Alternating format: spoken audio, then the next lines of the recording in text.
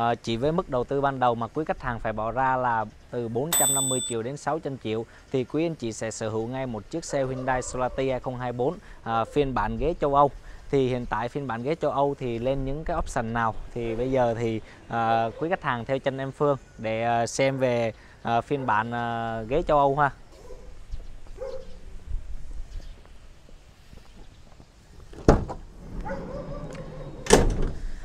Với mức đầu tư ban đầu là 450 triệu thì ờ, quý anh chị sẽ sở hữu những cái option là ghế, sàn và hầm tam cấp.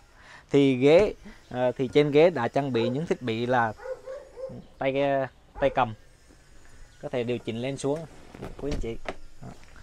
Và đặc biệt hơn nữa là có cổng USB, tai C rồi đầy đủ ha.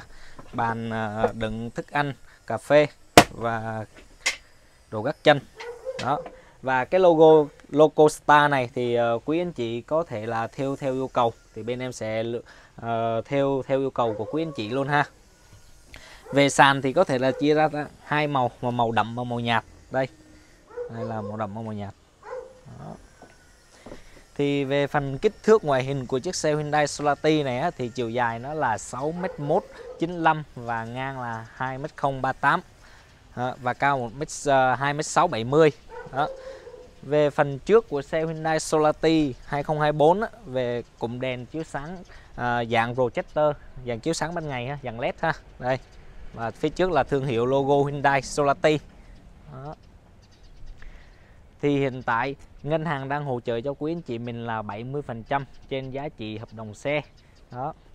Thì xe có thể là chia ra ba màu là màu trắng màu đen và màu bạc. Thì quý anh chị cứ uh, alo ngay cho em Phương. Thì uh, em Phương sẽ tư vấn tất cả các màu cho quý anh chị. Nhưng mà về phần giá cả thì nó sẽ giống như nhau hết. Thì xe hiện tại bên em Phương thì có xe có sẵn giao ngay cho quý anh chị. Không để quý anh chị phải chờ lâu. Về phần nội thất của cabin xe à, thì xe sử dụng là hộp số 6 cấp 6 số tiến và một số lùi. Thì uh, dung tích xi lanh ra là 2.5 lít à, cho tới công suất mã lực là 170 Đó em đề máy lên cho quý anh chị kìa. Nha. Đó. thì máy lạnh này thì máy lạnh thì được chia ra là máy lạnh là hai chiều là có chế độ nóng và lạnh và có hai dàn máy lạnh ha. Đây là phía dàn, uh, ờ, dàn máy lạnh trước và đây là dàn máy lạnh sau. Đó điều chỉnh. Gương thì chế độ là gương một chạm để cho quý anh chị.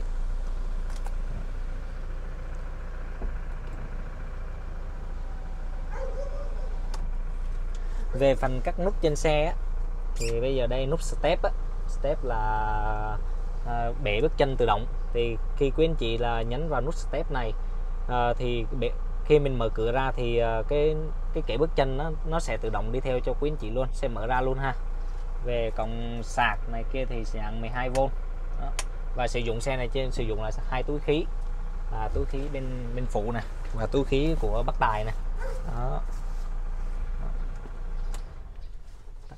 Và rồi à, em Phương xin à, kết thúc video tại đây. Thì quý anh chị à, có nhu cầu về đầu tư Hyundai Solati 2024 phiên bản ghế tiêu chuẩn và phiên bản ghế châu Âu thì cứ liên hệ vào hotline bên giới của em Phương à, và có cần à, nhu nhu cầu tìm hiểu về à, ngân hàng á, thì em Phương sẽ tư vấn ngân hàng cho quý anh chị phải bỏ ra bao nhiêu và một tháng trả bao nhiêu thì à, em Phương sẽ tư vấn cho quý anh chị luôn ha. Thì bây giờ thì em Phương xin kết thúc video tại đây. Cảm ơn anh chị đã xem qua video của em.